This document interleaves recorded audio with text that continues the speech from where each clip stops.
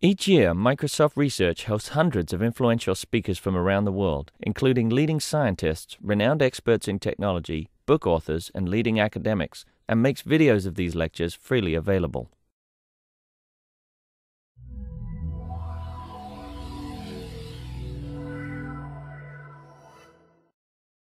Hi, uh, I'm Stuart Schechter. I'm here to introduce Lujo Bauer from Carnegie Mellon, who'll be speaking to us about access control. Thanks very much. Uh, do we have any, any clue how many people might be or might not be watching remotely? I'm, I'm just curious. No? Okay, no, doesn't matter. Um, so I'm going to be talking about um, this uh, system we have at Carnegie Mellon called Grey. And the basic idea in Grey is that we're using smartphones as the vehicle by which users exercise the authority, and in particular, in a particular scenario, this authority is to, to uh, access office doors, delegate to each other the right to access, to, to access each other's office doors, and also log into computers, log into each other's computers. Um, but just to, to, to roll back a little bit, this is uh, stuff that's, that's well, this slide is now almost a couple of years old, or a version of it is a couple of years old, and I think a couple of years ago, we had to do much more selling of, of why we were interested in smartphones. And I think now everybody is much more excited about smartphones, so not, not so much motivation is needed there. But uh, I mean, one fact that perhaps bears repeating is that huge numbers of mobile phones are being sold. Right? So last year, 1.1 billion phones were sold. And in a couple of years, it'll be uh, it, will definitely be the situation that every mobile phone that's sold will, for all practical purposes, be what today we're calling a smartphone right? So in a, in a few years, we're looking at a world where practically everybody on the planet has at least one of these powerful mobile computing devices and is walking around with them. So we might as well find some cool stuff for these devices to do. Um, and, and, what we want to do with the phones is use them to intelligently control the environment. And Grey is sort of the, the current version of Grey is just the tip of the iceberg in that, in that sense. I'll show you a couple of scenarios that uh, we'd like to enable with Grey. One is suppose we were doing access control to vehicles with, with the phones, then something I'd like to make possible is if I'm on vacation uh, and a friend of mine wants to borrow my car, which I left at home, I'd like to make it possible somehow for some interaction to take place between my phone and my friend's phone so that there's a virtual transfer of credentials from my phone to his and he can just use his phone to, uh, to drive my car for as long as I've decided is appropriate. Another example Suppose we're using uh, these devices for mobile commerce, right? Some sort of mobile payments. Something that would be really neat is if a friend of mine uh, walked into a store and noticed something that he knew I really wanted to buy, it'd be neat if I could send him the money so he could make this purchase on my behalf without having to lend me any money. Uh, another example, suppose I'm traveling, there's this important email exchange uh, going on. Something I'd like to enable is uh, that my secretary get access to that email exchange, but only to that, only to that thread or only to that set of threads and only for a specific amount of time. And moreover, I'd like to do this in such a way that uh, I don't have to give my secretary any usernames or, pass or passwords that she might be able to use to access my other accounts or that I might have to change afterwards or anything of that nature. Uh, and final example, um, suppose I'm, again, I'm traveling, I've made my hotel reservations, all my travel reservations online. A scenario that I like to make possible is that when I walk into a hotel where I've booked a stay in a city that I've never been in, hotel I've never been in, I'd like the hotel infrastructure to transmit to my phone uh, perhaps a map of the hotel and directions uh, as to how to get to my room, as well as the authority to open, unlock my, my room door and keep unlocking it for the duration of my stay. And all these scenarios, uh, something that unites them is that there's a kind of virtual transfer of authority going on between, uh, between devices or between devices and infrastructure. And this should be completely seamless and transparent to the user, regardless of whether it's happening within, between two devices that are in the same room or two devices that are, are on opposite sides of the planet. Um, so that was sort of the, the, more, more the grand vision of Grey. This is uh, concretely what's happening with, with it right now. You, what you see here is a map of the second floor of a building at Carnegie Mellon where, where I work. Uh, all the circles are doors that are Grey, uh, Grey enabled.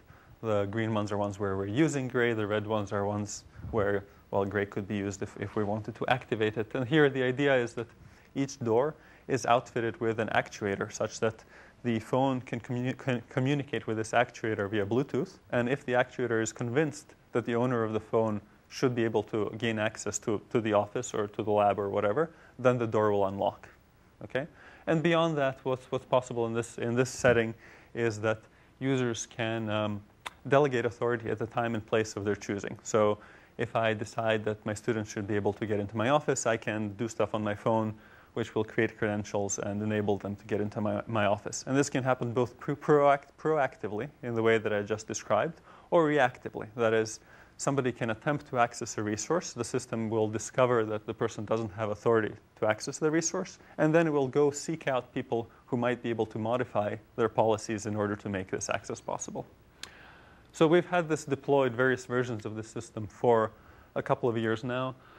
We usually have about 35 users, 35 doors, and we also use this, although less extensively, for logging into XP, Vista, and, and, and Linux. That is, we have a little module, a little uh, plugin uh, on, the, on, on, these various OSs such that the phone can be used to unlock a screen or log a user into the computer. And we're starting well, we've, we've actually started a, another deployment of this at uh, UNC Chapel Hill. So let me describe a scenario that, uh, that's a pretty typical one that takes, takes place uh, in the context of our system. Here we have two players. We have a student, Scott, and, and myself, and my office doors, the, the, the resource that somebody will want to access. So here the idea is Scott wants to get into my office. Uh, and the only way he'll be able to get in is if he can convince my office door, or rather the little computer Im- embedded in the wall next to it, that I've authorized the access. And now, in this scenario, I'm traveling, and so I can't somehow directly uh, authorize this access. Um, my phone here holds a bunch of credentials. These credentials represent pieces of my access control policy. Um, some of these pieces are, for example, that I have stated through a credential that I think students should be able to, or my students should be able to get into my office. I've stated that people that I believe are faculty should be able to get into the office, and also that for all things uh, having to do with CMU, my secretary has full authority to speak on my behalf. But importantly, uh, for the example, there's no subset of credentials here which enables Scott to get into my office. In fact, none of these credentials even mention Scott. So here's what happens. Um, Scott tries to instructs his phone to open my door.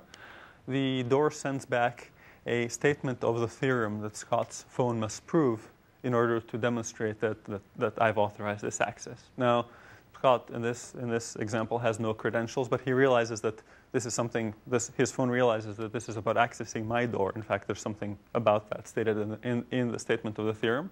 And so it turns around and asks my phone for help. Now, my phone can help because it has a bunch of credentials uh, and a, a, bunch of credentials. But in the particular case that, that, that, we're looking at, these credentials don't yet enable Scott to get in. However, my phone can, using those credentials, give me a list of uh, new credentials that I, could, that I might be willing to create, such that any one of these new credentials, in combination with all the ones that are already there, might be sufficient to give Scott access. Right? So here I pick whichever one I think is most appropriate, which is that Scott is a student. This, uh, this means that now there's a collection of credentials sufficient to, to, to, to answer Scott, and these get, these get shipped back to Scott. He adds one of his own and uh, sends them to the door. The door opens.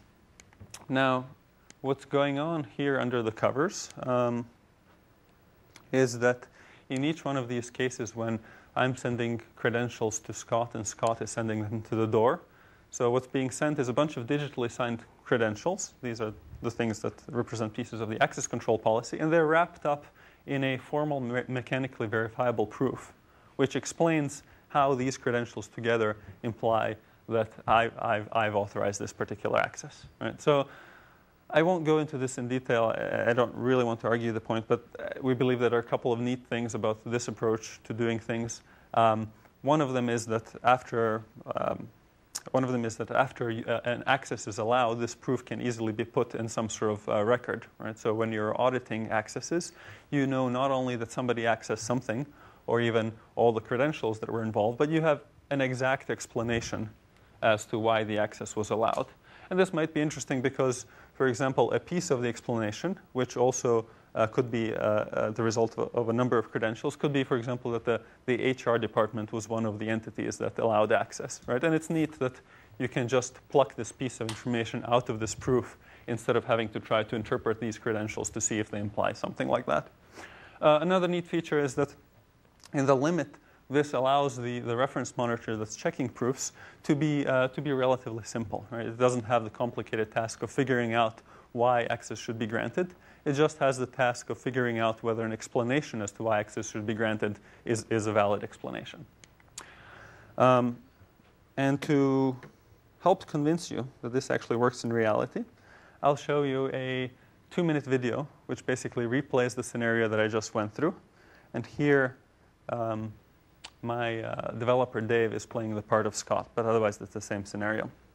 So here you see Dave walking up to my office. I'm not there. Uh, I think he'll be pretending that this is the first time he's accessed my office, and so he'll use his phone to take a picture of this two-dimensional barcode, which encodes the Bluetooth address of the, of the computer that's embedded in the door. So now his, he instructed his phone to open the door. The door communicated back what the policy was. Uh, his phone realized that it couldn't uh, compute a proof, and it offered him an option as to whom to ask for help. Now, there's some automatic guidance, but there's also the ability for the user to direct the request in the way that he's, he thinks is most, uh, is most useful. So here I am traveling ostensibly, but actually in a conference room on the other side of the floor. I get the request, and this uh, little wizard interface helps, helps me choose which additional pieces of access control policy I want to create in order to make this access possible. And here you see uh, I'm adding uh, I'm adding Dave to uh, a group that I've already created in the past. Interestingly, this group already has other credentials granted to it so that Dave will be getting not only the authority to get, get into my office, but also the authority to do other things that members of my, my group are allowed, member, members of this group are allowed to do.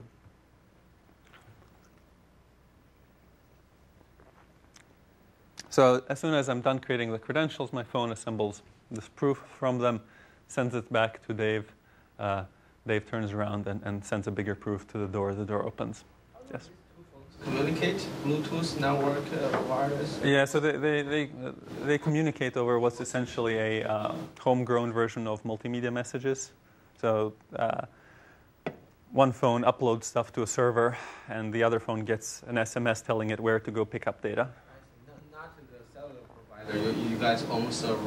It is. It is. Uh, well, the server isn't doesn't belong to the cellular provider, but the data is uploaded via whatever data connection the cell provider offers, and the the other phone is poked via an SMS. All right. So there are a, uh, a bunch of research challenges and really a bunch of research directions that we're exploring uh, in the context of this project. One has to do with developing better logics for access control that will uh, let us describe um, a number of interesting access control scenarios that perhaps some older logics couldn't, um, couldn't uh, let us handle. So um, one such example is in the case when we want to control access to uh, consumable resources. Right? So if you think about digitally signed credentials, usually they, they have uh, an interval during which they're valid. But the intention is that they can be used within that interval as many times as somebody likes. Right? However, suppose you want to give out a credential saying, I'd like to give you one can of soda, or I'd like to, to have access to one can of soda. Right? So I, I don't want this credential to be used many, many times. I'd like to, to be usable exactly once, otherwise it loses its meaning. So we did some work that enabled uh, scenarios like that. We also did a little bit of work uh, to enable scenarios where um, the, we, you perhaps might have multiple organizations using a system like this, uh, and the organizations cooperate to the extent they're all willing to play in the system, but at the same time they're independent enough that each organization wants to use its own access control logic. Right? So now there's the question of if I'm trying to, if the resource is housed in one organization, but my home organization speaks a different access control logic, is there any way I can convince this resource that it should open? And so we figured out a, one approach to, to doing things like that. Um, a, another class of, of issues had to do with uh, distributed theorem proving. Right? This, uh, this, this task that Scott's phone engages in, or Dave's phone engages in, in order to demonstrate that it has uh, access, is essentially a distributed theorem proving task. Right? It has to, from credentials or, or premises available at various places in the network, it has to uh, figure out how, it's, how it can be demonstrated that, uh, that it has access. And some of the things that make this more difficult, well, beyond just the distributed, uh, this distributed factor, is that many of these credentials don't exist. For example, in the scenario that you saw, uh, the, credential, the credentials, uh, the hypothetical credentials, which my phone showed me and allowed me to pick which one I wanted to create, right? These didn't exist until the theorem prover suggested that maybe they were good ones to create in order to, to compute this theorem. Um, another piece of work has to do with helping users configure access control policies. And this is, this is one of the things I'll talk about today. Um, this has to do with um, easing this burden of configuration, right? In this situation, they've had to wait for a while while I picked what policy to create in order to let him into my office. It would be nice if somehow the system was smart enough to minimize the number of situations where uh, a user had to incur latency of that nature.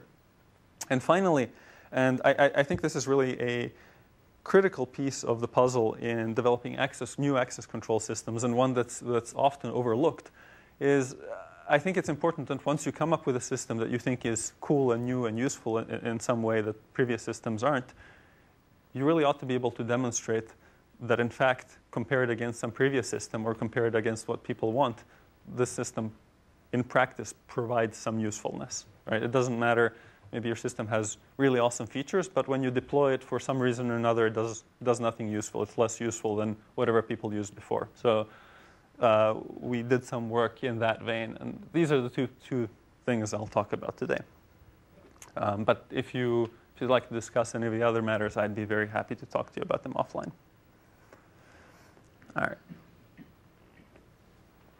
So, um, right. So the first part, the first of the remaining two parts of the talk will be uh, trying to solve the problem of how to make it easier for users to configure policy.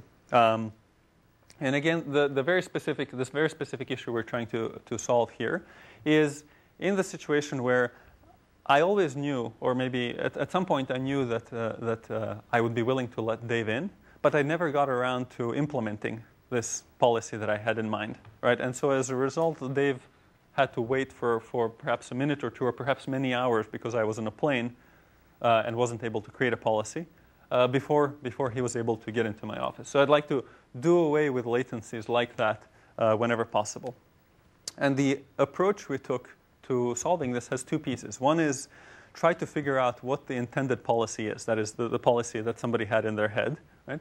Compare it to the implemented policy, the policy that's been operationalized in the system, and figure out where the mismatches are. And then suggest to the user that he fix this, these mismatches if we think that they're indi an indication of, of misconfiguration.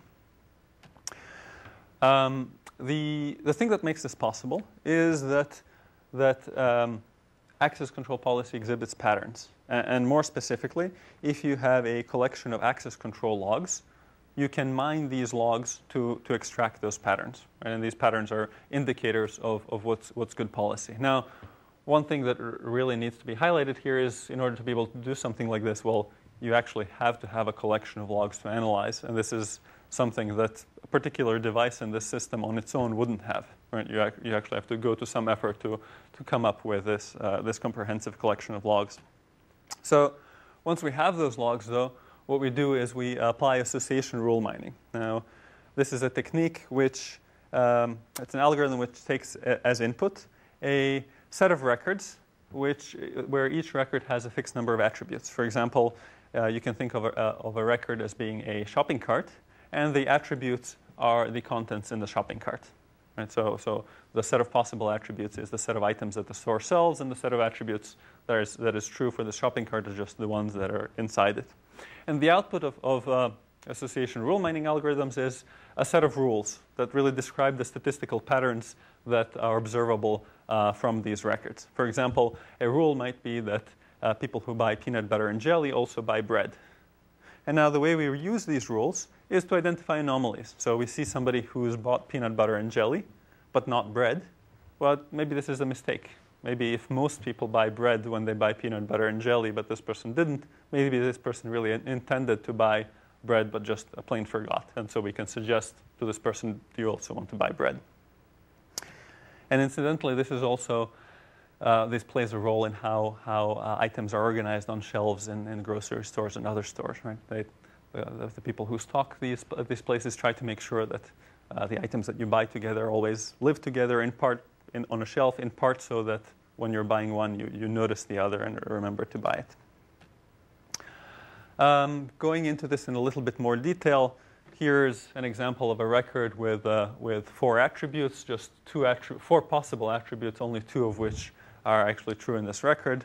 So we have a set of records like this, and then we can begin looking at combinations of attributes. For example, if we look at attributes A and B across all records, we see that, well, uh, in four times it's the case that attribute A holds, and two times it's the case that attribute B holds. So we can say, well, uh, we can make up a rule saying that the existence of attribute A implies the existence of attribute B, but with confidence of, of, of 0.5, right? Because the rule is only supported in some sense by, by half of the evidence. Similarly, uh, there can be a rule that, that attribute A implies attribute C with a slightly higher confidence because it has slightly, uh, slightly more data items um, supporting it. So how does this translate to, to users and doors? Well, uh, each record becomes a user, and all the attributes of that record become the resources that that user has been observed to have accessed. So what this line about Alice means is, this, is that Alice has been seen accessing resource A and resource C. Right? And so now we do rule mining uh, on this data set. So for example, if we come up with a rule that resource accessing resource A implies accessing resource C, then this one instance where that rule doesn't hold, if it's a high quality rule, a high quality rule is likely a potential misconfiguration. Right? So maybe, maybe this is a mistake in the sense that maybe Bob soon will be accessing C, even though we haven't seen in the system any policy that uh, allows Bob to access C. Maybe he will, and there, therefore maybe such policy should be created. So we tested this on uh, a data set that we collected from our deployment. This data data set was collected over 16 months, contains about 11,000 uh, accesses using great various doors on our floor. Uh, 25 users, 29 resources. Um, right, just a piece of terminology. The um, I'll use this terminology of a policy matrix, which is one of those uh, one, uh, a matrix kind of like you saw on the on the previous slide. And there'll be two kinds of it. One is the uh, implemented policy matrix. That is, it'll be constructed just from the things that occurred in the log.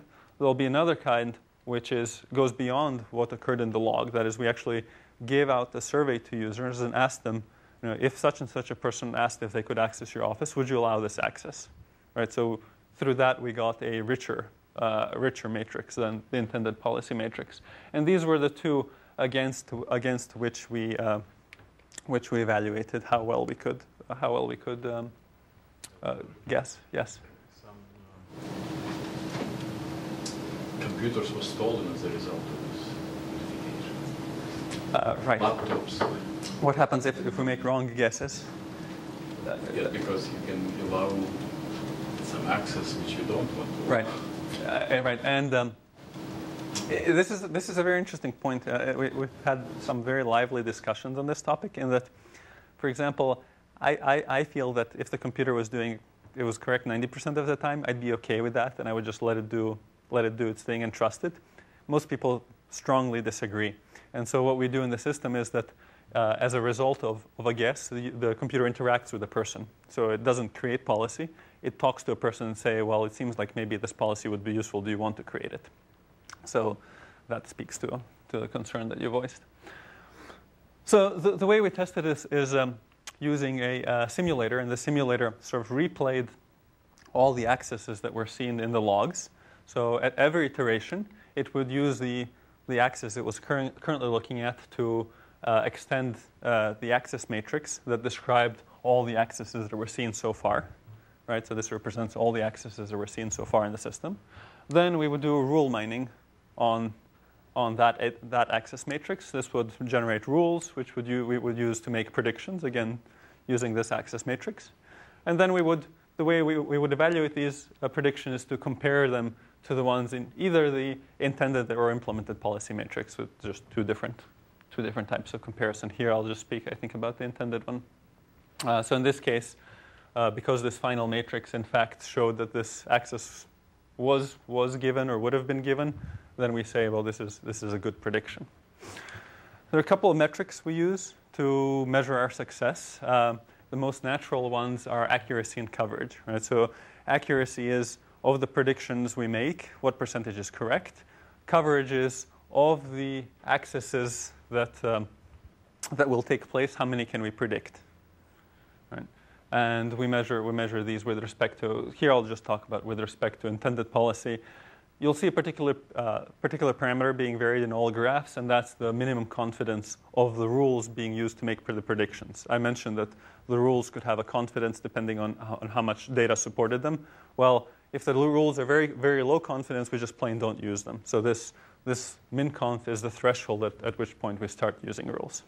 So, um, what seems to be missing in those two metrics is that you could have uh, uh, you could have low coverage, but it turns out you've covered every case that eventually comes up. So there's lots of cases where when you ask people, well, in theory, Bob access yep. this resource, yep. they say, well, sure, yep. but the fact that uh, the fact that it, it, never actually happens means they've got a simpler rule in their head, yep. and life's just better because uh, because Absolutely. it's never actually going to happen. But that doesn't seem to be covered by those two. Uh, Right. So, so well, really, that goes into whether we're comparing against intended policy or exercise policy, which is exercise policy is the, the policy that we see at the end of at the end of our, our data collection, right? So, the, does that make sense?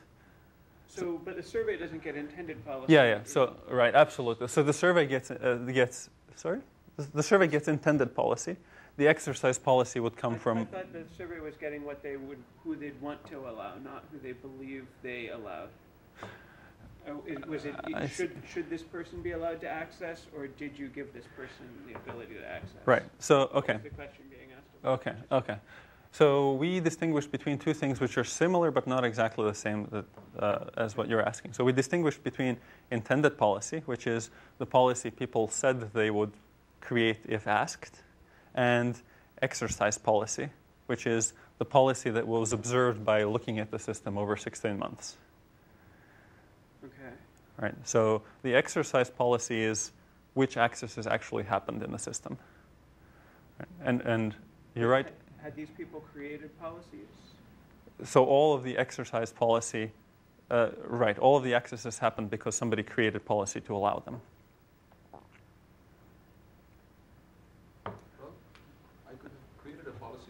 Yes. brought you access to my office, but maybe you never used it. Right, and that's that's the one that falls through through the cracks in this particular version. We're now doing stuff which takes that into account. Um, I don't have results for that here, but the general nature of the results is the same. If, if you're willing to trust me on it, yeah. Yes. What, what happened? You have a real record. Yes. It's, it's not in dispute. Mm-hmm. But the intended policy is something vague.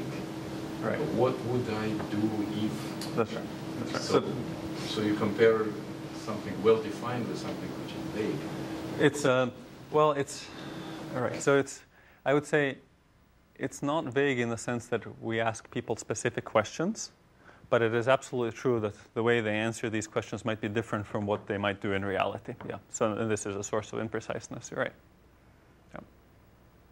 Did, you have another? I, I think it's just a linguistic confusion. I uh-huh. think what you're talking about is an ideal policy. Because, so it, it's intended if you say, in retrospect, did you mean to give this person access to that? Okay. But it's ideal if you're saying, would you want, right? Is your, your, there's my ideal policy, and then uh-huh. there's what was I intending when I created the policy. So, yeah, I think that, that what you're calling ideal, I'm calling intended here. Right, okay. Yes, yes configurations. Mm -hmm. uh, what, can what you learned uh, from the, the log uh, be? how can you use what you learned from the past to improve the mm -hmm. future when users are making a choice and uh, the system won't make error. I don't see the connection. Sure. Uh, and, and I should have, I should have uh, given a more concrete example. So here, the idea is, suppose that um, Alice, Bob, and Charlie both all accessed um, door one, right? And Alice and Bob also access door, door two. Now, so we have a situation where it seems like most people who access door one also access door two. And it could be the case that Charlie also will access door two, right? And so we ask somebody, will Charlie need to access door two? It seems like other people who are accessing the things that Charlie accesses also access door two. Would you like to extend policy in order to make it possible for Charlie to access door two?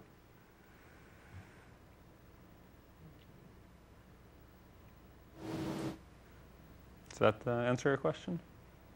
I guess I'll see your results. Okay.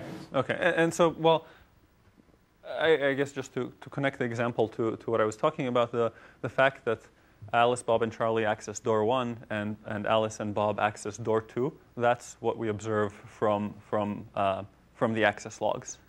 Right? And so then we crank this rule mining crank, and it tells us, well, it seems likely that accessing A implies or accessing door one implies accessing door two. And then we apply that back to the matrix and notice, look, Charlie accessed door one but did not access door two.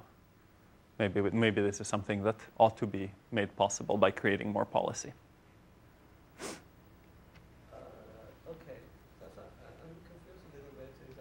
Uh, if Charlie never requests the, the access, why is that a problem? Um, right, so the, the, it's a problem because We'd like to eliminate situations where Charlie doesn't have access the moment he requests it. We'd like to make it the case that if Charlie is going to request it, the policy will already be created before he requests it so that he can access with no delay.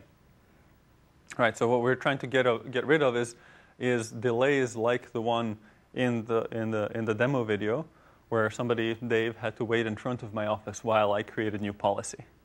Right? And while in this particular case the delay, delay was short because I was able to pay attention to my phone immediately, it could well be the case that I'm asleep or out of, you know, on a plane or, or for some reason unable to pay attention to my phone, in which case they wouldn't have been able to get into my office for a while. And of course, with access to my office, that might not be such a big deal, uh, but you can imagine needing to get to um, data that's critical, like, I don't know, patient records or a server room where a server is about to overheat or something of that nature. Uh, but, but, actually, your, your example was doctor mm-hmm. would, I mean, it reminds me about a counterexample. Is that, I mean, the doctors may have a lot, share a lot of common access rights, mm -hmm. but uh, I guess uh, one doctor shouldn't have access to another doctor's patient's uh, mm -hmm. file. Sure. You see what I'm saying? Like, uh, if they, even they share a lot of uh, common access right, doesn't mean another one should uh, get the access right. That's right. That's right. And so, well, let me go on a little bit, and I think part, at least part of your question will, will be addressed. Yeah. Um, right. So accuracy and coverage. Uh, completely unsurprisingly, here at MinConf, this threshold is, is being varied on the x-axis. On the y-axis is uh, prediction accuracy, right, from zero to 100% as well, and as you use rules that have more more support by the data, well, the, they're more accurate, right? No, no particular surprise there. Um, and also, if you think about it, not very surprisingly, oh no, so okay, sorry. So here to your point about some rules are, not a good indi indicator of policy. So there are situations like doctors do lots of similar things, but then in some places they also do different things. So what we do is we add a feedback mechanism. That is, as I said, as, the result, as a, the result of, the, of a rule, the system interacts with the user to ask if the user wants to create more policy. Now, if the user listens to the rule, we mark this rule good in some way, and I won't go into the details. If the rule, user does not listen to the rule, we mark the rule as a bad rule, right? And so, uh, in this way, we penalize rules for not being useful, we reward your, your rules for being useful, and eventually we stop using rules that haven't shown themselves to be useful or that, or have shown themselves to frequently be incorrect. And in this way, we can improve the, the, the quality of our predictions to some degree. Now, the, the old li line is this lower one, the new, new line with, with feedback is this, this bigger one, and here the difference is actually, I don't know, it's about 30% better for, for, for a range here. Um, also, not too surprisingly, the coverage, that is the number of accesses we're able to predict, decreases with the, the confidence as, as the, the, the confidence of the rules grows, right? This is because there's a very small number of rules with very high confidence. So even though they are very accurate rules, they only result in a very small number of predictions. And so coverage can't be very high. Yes?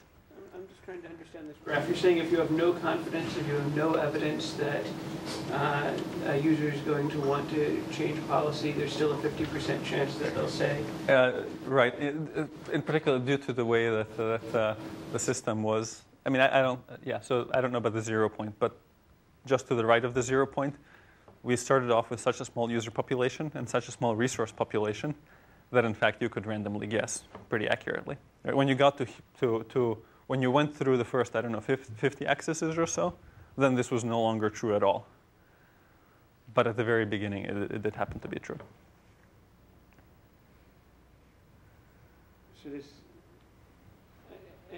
are these adding, are these for rules for giving additional permission or also for removing permission? So these are just rules for giving additional permission. So, so in theory, it could just be that 50% of the time, if you throw someone a random name and said, would you want to give this person access? It, it, They'd say, yeah, sure, why not? it could be the case. It could be the case, yeah. Uh, it's not, but it could be. Because people are, are going to feel like they, just to say no, they have to have some justification for why they don't trust that member of their lab. Yes, yes. And, and actually, to some degree, I will address the question of what kind of policy people created in, in the second part. Okay.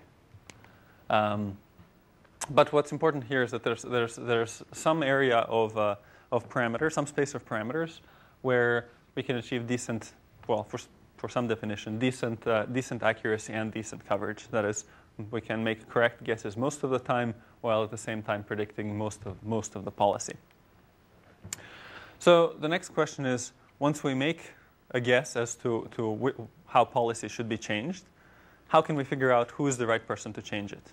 Right? So in a system with a single administrator, this is trivial because it, there's one administrator. You just ask the administrator. In a system with many administrators, this is uh, a little bit more difficult. Uh, you don't want to ask all of them because, well, you'll be asking a whole lot of people, and uh, at, probably at most one will be answering. Uh, so they'll, they'll get annoyed.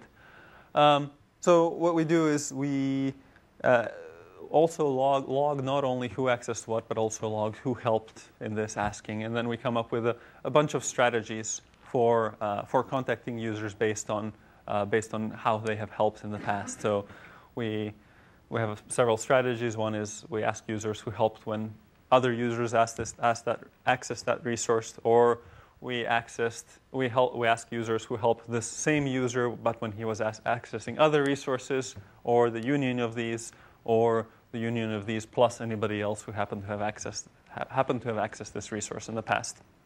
And again, uh, we run this through a simulator in order to evaluate how well it works. Yeah, the simulator starts out as before, except now the logs also include information about uh, how misconfigurations were previously, uh, previously uh, resolved. Um, notice that this information, a lot of this information can also be extracted from the proofs, right? If you actually look at the structure of the proof, you can sort of tell uh, who, who could have come up with that proof or who contributed credentials to that proof. So first is the step, same step as before. We identify misconfigurations. Then we construct from that and the logs of who helped resolve misconfigurations, we construct a list of candidates that might be asked to help change policy. And then we ask, we ask uh, any of those candidates.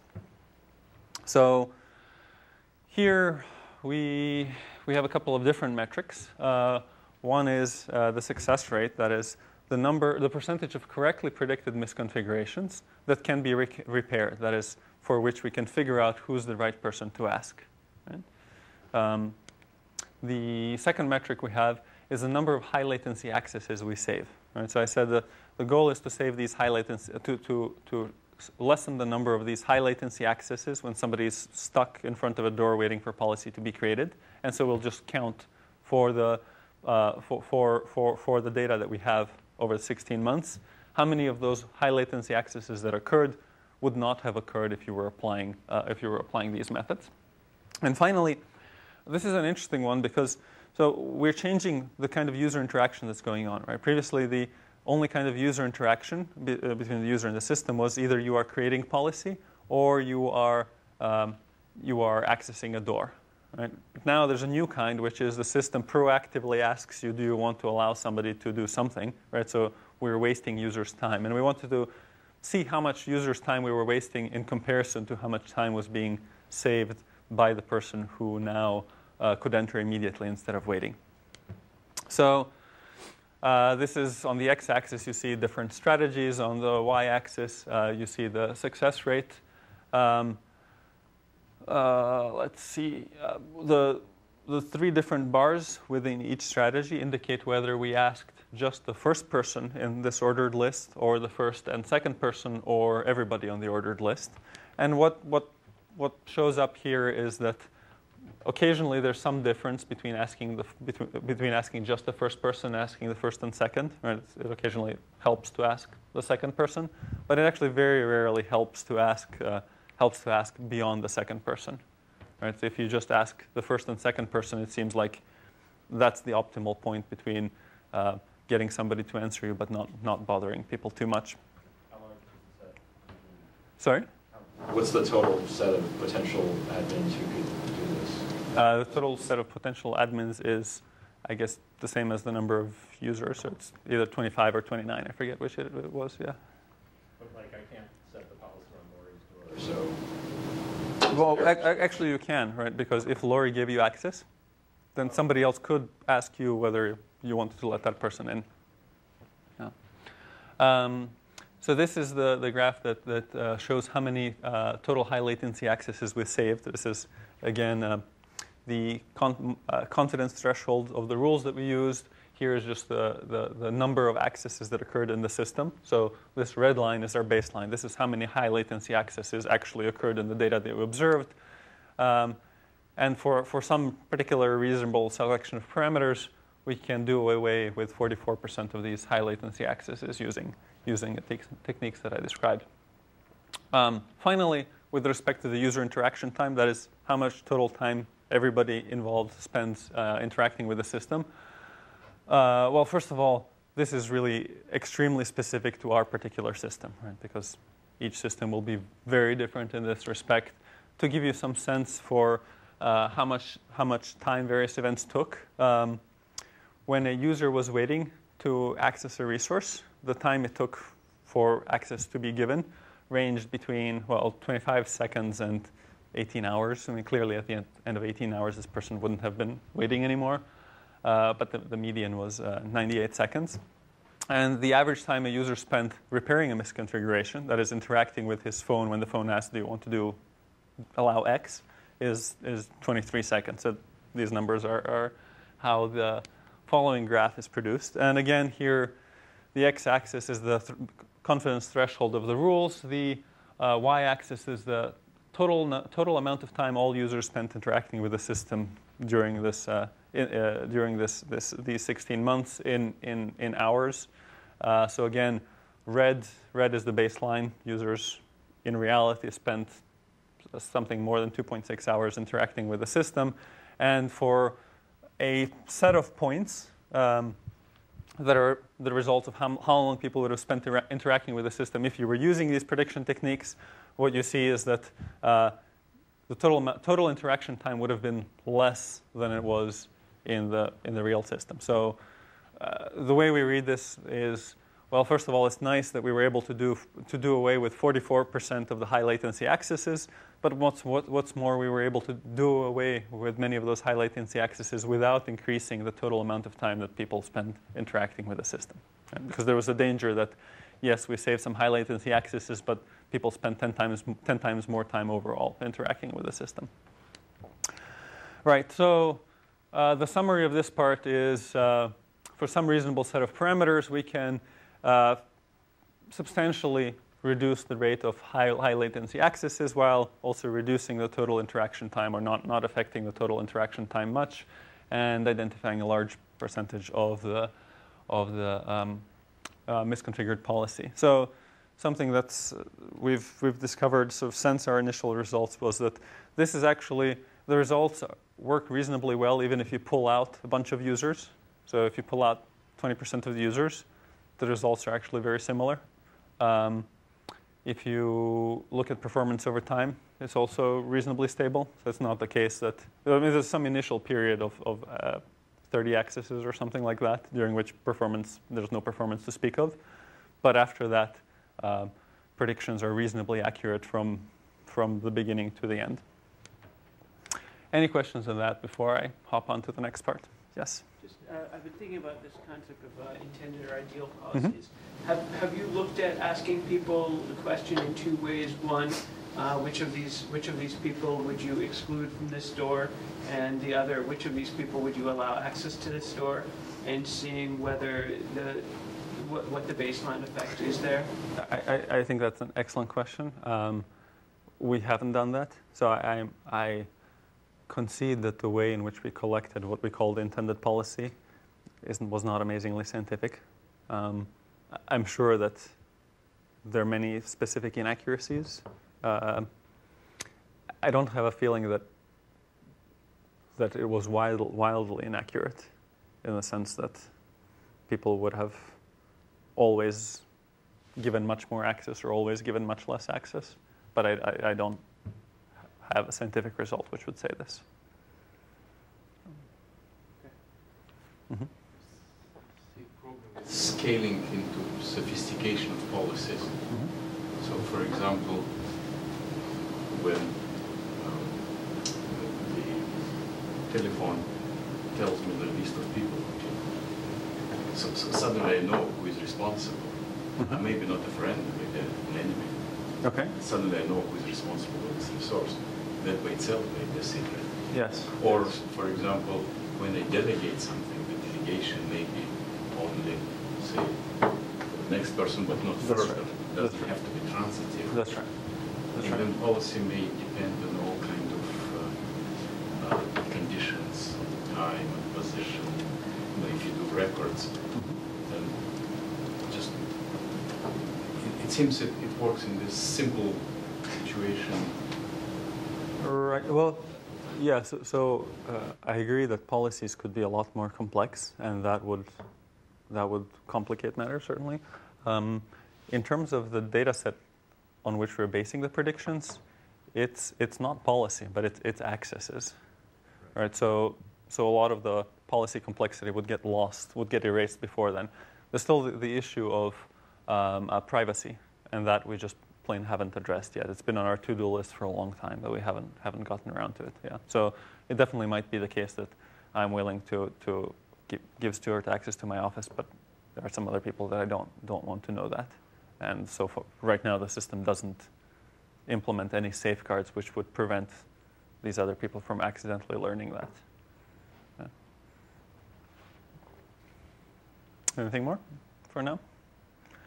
All right, this part will be quicker. Um, so this was the part where we tried to, um, uh, well, we, we tried to provide some just justification for all the features that we included in the system, right? And every system design become, be, uh, begins with some intuition on somebody's part that here's some set of features that's interesting and people will find useful. But we actually wanted to see whether when we built a system, let people use it, overall, did they gain something through using the system or not? And, and there were two particular uh, questions that we want to answer. One is, um, so we built a system. We'd like to know exactly how well does it match the user's needs, right? The users want some stuff. We believe maybe that they want some other stuff, so we built a system to match what we think is cool. Let's see exactly how well it works for them. Uh, the other part was uh, somewhat to address a criticism that I've often heard, which is that if you allow uh, delegation to happen very easily, what you'll end up with is a world where everybody is delegated to everybody else, and hence everybody has access to everything, and so you have no security whatsoever. And so we were really curious to see whether that's how things would, would, play out. My, my, intuition was that it wouldn't, but it's a valid scientific question.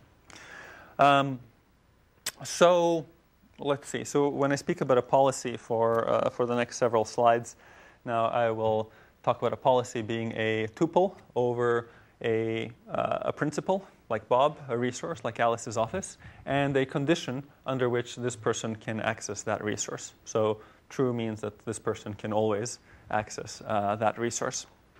Um, we, we conducted a study here uh, where exam- we examined the access control policies created by eight people who had resources for which they could control the access control policy. A lot of the users in our system were, were users that didn't own any space and therefore weren't really necessarily empowered to, to give out access to it. But so we studied primarily the people who were able to uh, give out access to their space and then all the users who, who actually um, made use of, of, of, the policies that these people created. Um, here we have a slightly larger set of, of accesses than, than, uh, than previously. Previously we had 11,000, now we have almost 20,000. And a, a, key thing that we try to extract uh, here is the ideal policy um, to introduce more potentially confusing uh, terminology. So this is the, the policy that people would want to, inter, uh, want, want to enact if they weren't restricted by, uh, by technology. So uh, this, this is something that was actually quite, quite hard to extract from users. And in general, it, it's, it's data that, that it's very hard to come up with because when you ask a user, but what accesses he would like to make possible, sometimes he just plain doesn't know. Other times his thinking is guided by what he knows is possible because he's controlling access using keys or prox cards or whatever. And so it's really hard to get the correct answer. So uh, we think we came up with a, a, very good approximation of the right answer. But the reason we were able to do this is because we periodically interviewed users. We interviewed users, in essence, uh, I think every two weeks or every month over a long period of time. And so initially we asked them what were all the things that they wanted to do, and we did some probing to figure out if their answers uh, were somewhat consistent. But then we compared that to, to what we we observed them doing in practice, and we always would go back to what they originally said, and we would try to, again, we would, we would try to make sure that, that, that the, the, answers they gave were consistent. And often, often they weren't, so, and so we would revise what their intended, uh, their ideal policy was. Um, and then we, we, we put this together in this, this humongous graph of what was everybody's ideal policy. Here's just a piece of it. Uh, essentially says things like Gary is always allowed access to Charlie's lab, or Frank is allowed access to Charlie's lab only if the access is logged, or Joan is allowed to access to lab only if the lab owner is notified, and Mary is never, never allowed access to the lab. Now, the, what was interesting is this, this set of conditions that we identified as conditions under which people were willing to give access. Right? So there was the false, which is never give access to true, trivial. Logged would mean, would mean that somebody would want to give access only under the condition that they could have a record of the access after the fact. Uh, and the, these were kind of interesting. This was uh, willing to give access, but only if, I were noti- if I'm notified when the access takes place, that it took place. This is that I'd like to be consulted in, in real time. That is, I'd like to be consulted at the time of the access to figure out if, if I want to give it or not. And these are sort of extensions of that. So again, I want to be consulted at the time of access, but also somebody has to be present to witness the access.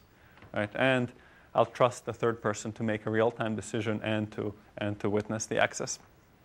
And so with these conditions, uh, you can immediately see that um, various systems might not be able to implement these conditions, right? If you're using keys, you can't implement logging or owner notification and so on. If you're using Grey, well, you imagine that logging is trivial. Something like real-time approval also works because I talked about that, but we happen to forget to implement owner notification because we didn't. We only afterwards discovered that, that it was useful. So now that we have this list of conditions, uh, we can look at all the rules that were created using, that, exist in the ideal policy, as well as in the policies that people enacted with keys by, by giving keys to people, or with Grey by creating credentials in, in Grey. So now what we did is we compared policies, not, not accesses. We actually compared the policies implemented in the various systems to each other and to the, to the intended policy.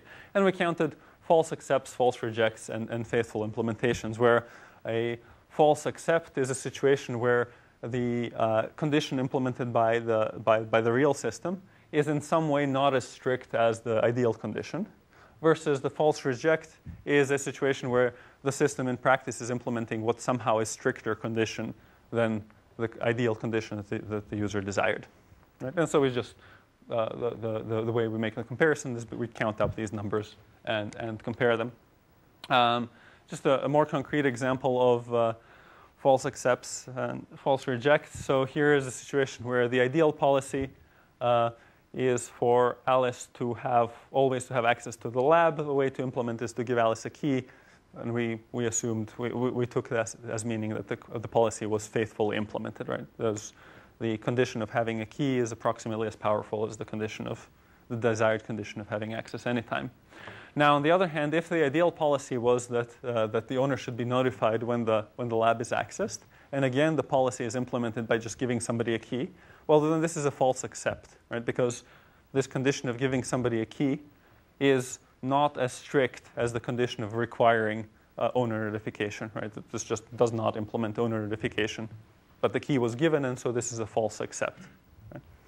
And finally, uh, a false reject is a situation where, and we had some of these where a user really wanted access only if logging would take place. And this was so important to him that since he couldn't have logging, he denied access. Right? So we say that this is a false reject because the reality was that it's always a rejection, even though sometimes under some condition the user wished for to allow the access. So here we have a graph by ideal conditions. So the, the various ideal conditions are on the x-axis. On the y-axis is the number of policies uh, in each condition. And now this is, this is uh, for, for keys, right? And green indicates faithful Im- implementations, and yellow and red false rejects and false accepts. So what are some interesting things here? Um, sort of as you would expect, keys don't do well with logging or owner notification or owner approval. Right? The, the errors are sort of split into false accepts or false rejects because if people wanted the condition but not so strongly, then they gave a key anyway. If they really wanted the condition, they, they didn't uh, give a key. So in one case it would be false accept, a false, in the other case it would be false reject. This one is really interesting. Um, you would think that when people didn't want somebody to have access, that would be easy to implement with keys. But that turned out to be not the case. And, and when we looked at it, in, into it a little bit more deeply, I think in general it turns, turns out with keys not to be the case. So what happened frequently is that um, people wanted to give access under specific circumstances, or they wanted to give access to a group of people. Right? They want to make sure that a group of people could sometimes get into a machine room. And since it was too complicated, complicated to create a bunch of different keys, and hand them out to everybody and then, then sort of do revocation of keys when people left and so on and so forth. What happened was that one key, one key got created and it got hidden somewhere on the floor where various people could access it. Right? And then everybody who, who, who might need to access it was told where that key was. And this happened a bunch of times for a bunch of different resources. And the result was that now this hiding place had keys for a whole bunch of things right, such that anybody who needed any of the keys in that hiding place had access to all the other keys that maybe they didn't even know what, what they were for. Right? But certainly they had access to them, they, they could use them to get into other resources. And so this led to uh, a large number of false accepts when people wanted to deny access.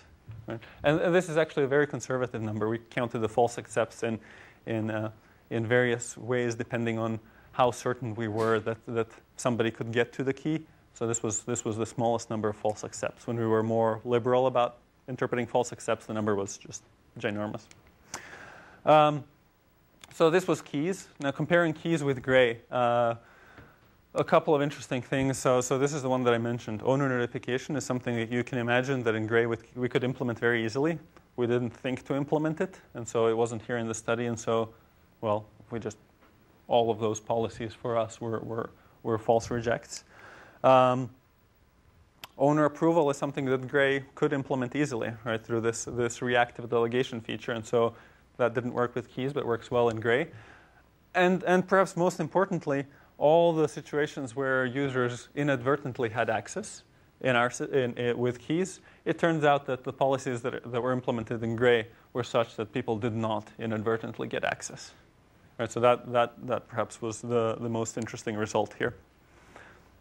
So to summarize this part, um, I think one of, the, one of the interesting contributions is that we document this collection of ideal policy data, which is uh, really pretty difficult uh, to get. And we developed the metric for um, talking about how accurate a particular set of policy is, policies is and comparing different sets of policies implemented by different, uh, different systems. And then finally, with respect to Grey, uh, we were able to show that uh, Grey was both less permissive than keys, and it uh, was more accurate at impl- implementing the, the user's ideal policies. That is, it was more accurate at implementing the policies that, uh, that users wa- wanted to have. So, in fact, it was not the case that in a situation where you could, or at least in this particular situation where you could delegate very easily, it was not the case that everybody delegated to everybody else. In fact, overall, fewer people had access to things with Grey than they did uh, using keys. Uh, my last slide. So, uh, Grey is this platform that, that I really like as a vehicle for exper- experimenting both with neat things we can do with mobile phones and, and in particular with a logic based platform for distributed access control. There, there's a particular set of things that, that, that we've, uh, we've studied so far. But I, I, think something to, to take away from this too is that the, the various things we've done in this context, they don't apply necessarily only in this context, right? So everything that I've talked about, I've talked about in the context of mobile phones, but you can really apply this technology in situations that have nothing to do with a mobile phone, right? You can do access distributed access control in this way on the web or in IT systems or you know, certainly some other environment. Yeah. Um, all right, and that's all I had. Thank you. Any questions?